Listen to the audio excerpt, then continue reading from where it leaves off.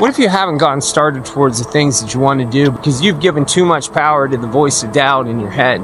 And what if that second guessing is the only thing keeping you from achieving what you want?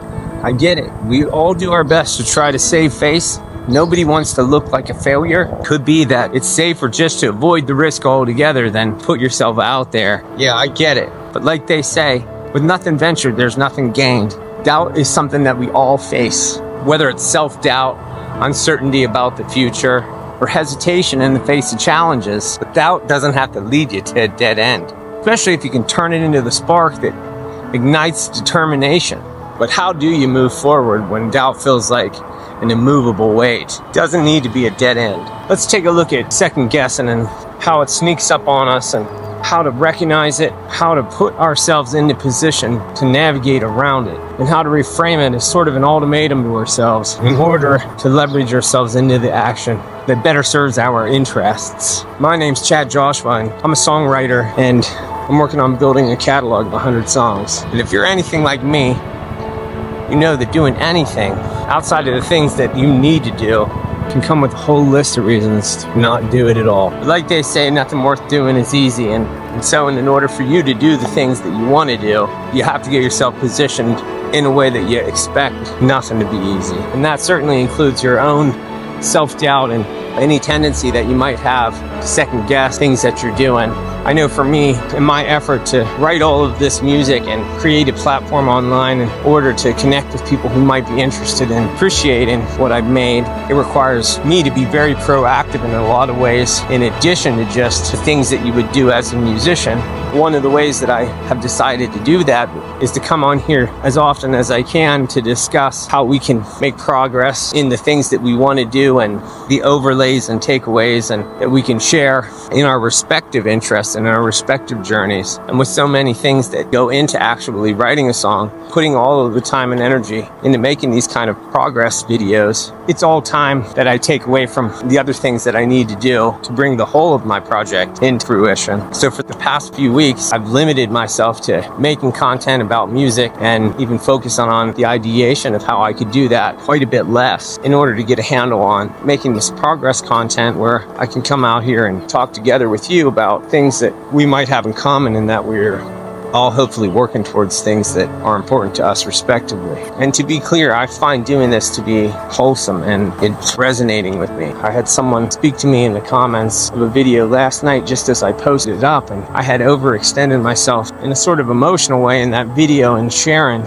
in somewhat of a more personal way than I normally do. And whoever it was who had watched the video, no sooner had I posted the video and was just reviewing it back when I noticed someone had liked it and had posted a comment. So I looked at it and the guy said, says, thanks. This is exactly what I needed to hear today. And immediately I was hit in a real profound way by that because I tend to be a selfish individual and I don't love that about myself. But in that moment, I felt so much gratification and and haven't been the slightest bit of value to this person. And I think for an old broken soul like mine, it's kind of like just what the doctor ordered. So this is important to me in that way because if you can have any kind of a value to somebody else in that kind of way, it just resonates. Feels like I did something better than I normally do. And at the same time, I don't want to lose sight of my overall purpose is to build this platform, to share the music that I've had the compulsion to write since I was a kid. And I don't want to get to a point now where I spent decades and decades bringing myself to a place where I'd built all the skills that I needed to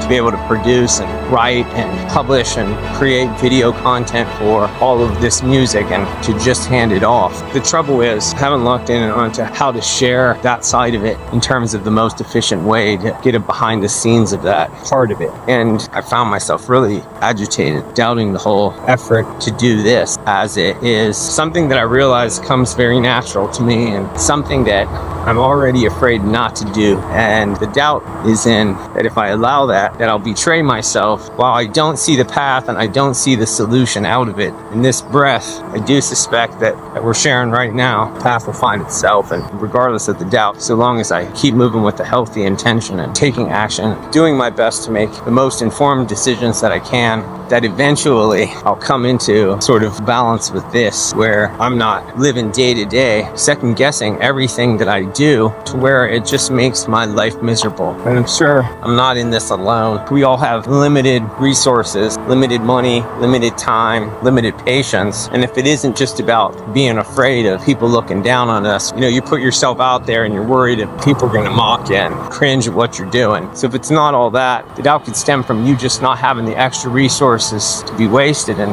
and just coming to a point where you're afraid of making a decision because you don't know what the best decision is to make. So, how do you move forward when the doubt feels like an unmovable weight? One thing is surprisingly important, but when I read it, it made a lot of sense to me. And that is when you're in a situation like this, go ahead and take a look at that doubt and then recognize that the doubt is often just a sign that you care deeply about your goals. So once you recognize that, you can use that care that you have as a foundation for your action. Because it's sort of like when you're driving down the highway and that fog rolls in. And just because that fog rolls in and you can't see the road, doesn't mean it isn't there. But maybe it is okay. Slow down just a bit to navigate through safely because you do have to trust the process and you do have to keep moving. I have to trust the process. I have to keep moving. In a way, it's it is terrifying. For me, this has been a consistent pursuit.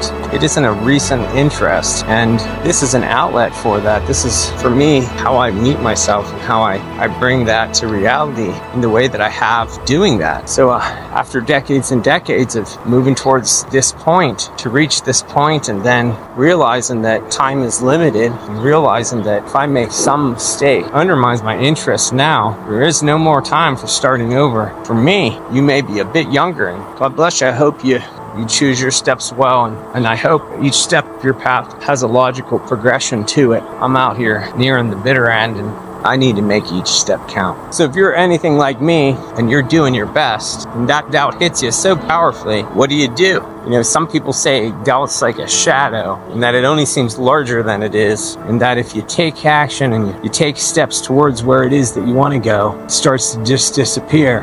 And maybe even it can be of some use to you. What if doubt isn't an enemy at all, but a guide? What if it's just pointing out the areas that need attention for you to grow? Giving you the opportunity to deal with those areas. Maybe it's just a signal of where to focus your energy. If you doubt your skills, it's an invitation to practice. If you're concerned you're not making the right content, like in my case, start making more content.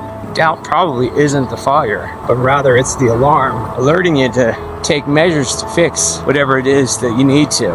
Like I said, for me, with my music, I feel pretty confident with what I'm writing. I'm satisfied with it as a songwriter and satisfied with how I grow in that way. I'm building my skills as a producer and an engineer by repeatedly working through the progress of producing and mixing my songs. And the more consistent I get about my schedule and how I do a better job of keeping the ball rolling, the more reps I get in those areas, I'm sure that, that will hold true for the content. So for me to be here and have spent better part of 30 years working full time on the craft of becoming a better songwriter and have any satisfaction of that laying in the hands of my ability to conceive a, an interesting, captivating content schedule really is infuriating. But that is a discussion for another day. So I don't know about you and whatever it is that you have going on and the things that come up along the way that make you think twice about going into something and getting to it. But I know that you owe it to yourself to see to it because life is short. We're, we're here in one moment and gone in the next. And that's your license for exploring life and finding your way through it in a way that resonates with you. We all have our responsibilities, people that we're responsible to.